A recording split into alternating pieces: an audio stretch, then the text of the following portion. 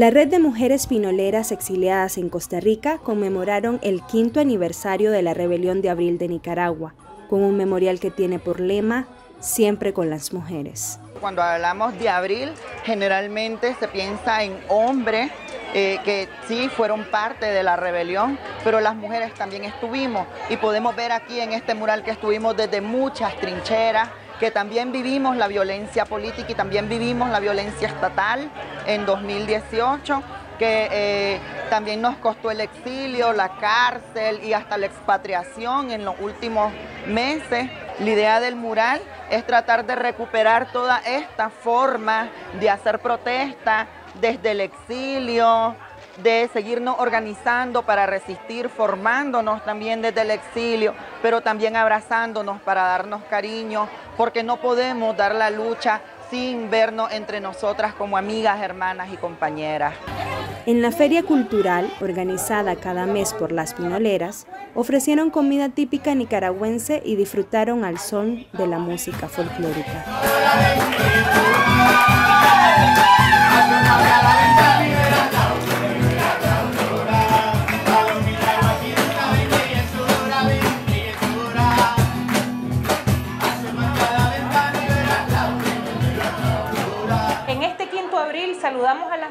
Que hacen posible vernos siempre esta vez al mes, que nos apapachamos y nos abrazamos, a las que con cariño nos preparan los alimentos que consumimos y a las que fielmente vienen a comer con nosotras.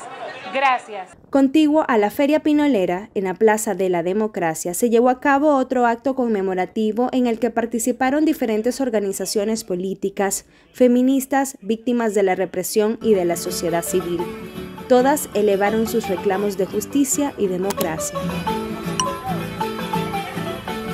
¡Viva el del Norte, el barrio Sandino! La Unión de Presas y Presos Políticos Nicaragüenses, UPPN, Organización de Escarcelados y Sobrevivientes de Tortura, continuamos firmes en la exigencia de justicia y no impunidad, construyendo procesos de recopilación documental y de elementos de prueba para demostrar las graves violaciones de derechos humanos y la macrocriminalidad, delimitando las responsabilidades individuales y estatales de los crímenes cometidos contra los escarcelados políticos. Nosotros siempre estamos, eh, hemos estado demandando lo que es sobre las torturas y las violaciones de los derechos humanos y sobre las torturas y las secuelas que nos quedan a nosotros como presos políticos y también nos preocupa mucho sobre la situación que están pasando los presos políticos actuales. Siempre he estado firme y exigiendo justicia por todos los asesinatos, justicia por los presos políticos y justicia por los desaparecidos. Siempre he estado firme. Exigir que se acabe con la represión, y demandar la, la, recuperación de todos los derechos que nos han sido conculcados por el régimen Ortega Murillo. Daniel Ortega y Rosario Murillo tienen que entender que no es viable seguir eh, controlando el poder, seguir imponiendo eh, su poder eh, por medio de la violencia. Ese no es un país viable.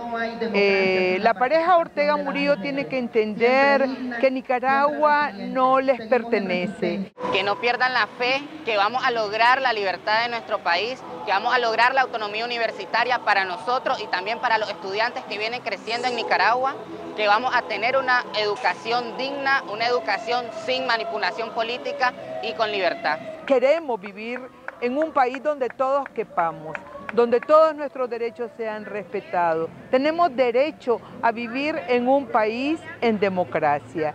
Pero también creo que hay que hacer un llamado a los distintos grupos de la oposición nicaragüense, eh, mayoritariamente en el exilio, para que podamos profundizar estos esfuerzos de unidad, de concertación, eh, que nos permita también prepararnos para un momento de transición que va a demandar de todas nuestras energías, de toda nuestra buena voluntad y de toda nuestra eh, vocación democrática. El acto conmemorativo finalizó con mensajes de exreos políticos que se encuentran en Estados Unidos, a quienes el régimen desterró el 9 de febrero de este año.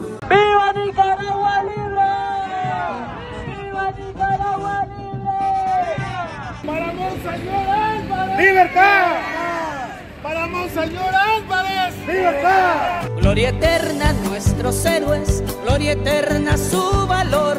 Hoy son ejemplo de lucha, de valía y convicción. Aunque la dictadura sandinista de Daniel Ortega y Rosario Murillo en Nicaragua se enfoque en borrar el rastro de nuestra lucha por la libertad de todos los nicaragüenses, nosotros tenemos que demostrar que seguimos comprometidos con la construcción de un país mejor para todos. Ya estos cinco años solamente me queda decirle que tengamos fuerza, que tengamos esperanza, que tengamos la fe de que nuestro país un día será libre y que un día vamos a regresar todos juntos con nuestra familia.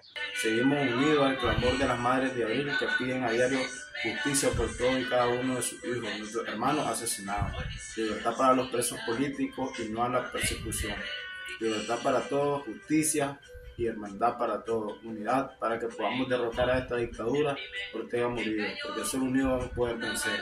Desde abril hasta la libertad, Nicaragua será libre. Nunca serán olvidados, su legado